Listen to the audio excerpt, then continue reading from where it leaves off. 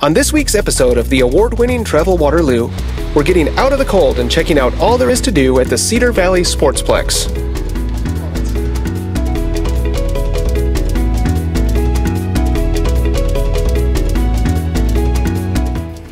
The premier fitness facility in eastern Iowa, the Cedar Valley Sportsplex in downtown Waterloo is more than just a gym. The Cedar Valley Sportsplex offers workout facilities, it offers gym space, there's a pool, and what else?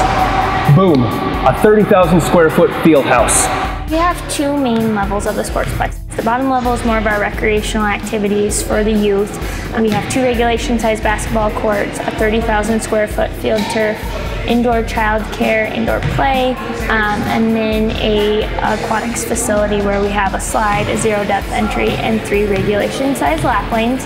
Um, and then upstairs is geared towards adults. We have a walking running track, all of our Precor um, walking running equipment as well as free weights, weight machines, golf simulator, and then a club locker room. With so many options, you'll never run out of new things to try. That's kind of the, the best part about it is the variety down here. As soon as you know your seven-year-old decides he wants to do something else after about five or ten minutes, you just go on to the next thing. So it's, it's nice.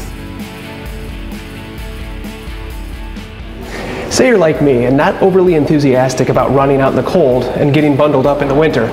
Grab shorts, shoes, and a t-shirt and come on down to the Sportsplex. Six and a half laps on the indoor track equals a mile. So let's go. And all of this isn't limited to members. Visitor and extended passes are also available. In addition, the Sportsplex hosts numerous tournaments and visitor events throughout the year.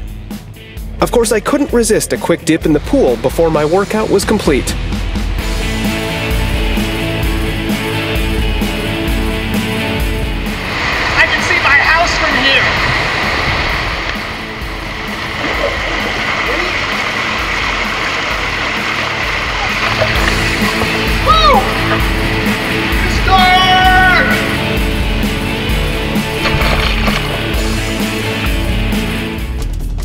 For more information about the places we saw today, check out the Travel Waterloo blog at the award-winning travelwaterloo.com and visit our YouTube channel for a look at past episodes and travel ideas.